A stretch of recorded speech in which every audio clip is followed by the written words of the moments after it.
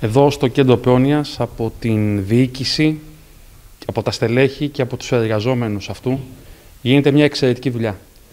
Μια εξαιρετική δουλειά με υψηλή κοινωνική ανταποδοτικότητα και πολύ θετικό κοινωνικό πρόσημο.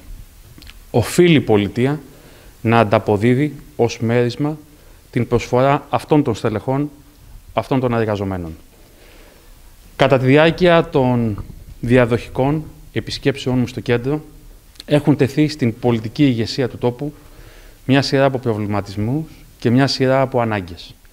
Μία εξ αυτών είναι η ανάγκη μετακίνησης των παιδιών με καλύτερες συνθήκες, με ένα καλύτερο όχημα.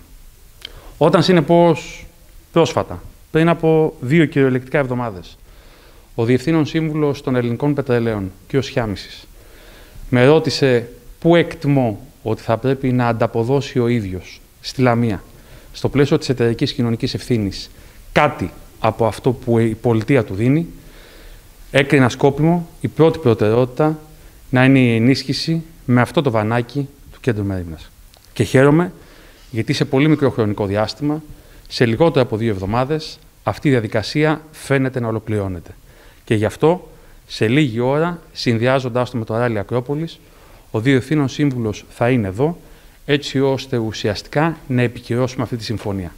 Θεωρώ ότι αυτό είναι μια εξαιρετική πράξη εταιρικής κοινωνικής ευθύνης και από την πολιτεία κοινωνικής ανταποδοτικότητας, θα το επαναλάβω, στην εξαιρετική δουλειά που γίνεται εδώ από τα ίδια τα στελέχη, από τους συμπατριώτες μας. Είμαστε ιδιαίτερω ικανοποιημένοι γιατί κατόπιν ενεργειών του κυρίου Υπουργού, ο οποίος είναι αρρωγός των προσπαθειών του Κέντρου Κοινωνικής Πρόνοιας Περιφέρειας Τερά Ελλάδος, τα ελληνικά πετρέλαια που είναι όπως γνωρίζετε χορηγός στο ράλι Ακρόπολης θα προβούν σε μία δωρεά προς την περιοχή μας.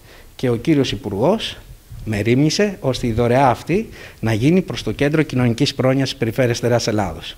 Πρόκειται για ένα αυτοκίνητο ηλεκτροκίνητο το οποίο θα δωρήσουν τα ελληνικά πετρέλαια προς το Κέντρο Κοινωνικής Πρόνοιας, επταθέσιο. Εμείς είμαστε πάρα πολύ ικανοποιημένοι από αυτήν την εξέλιξη.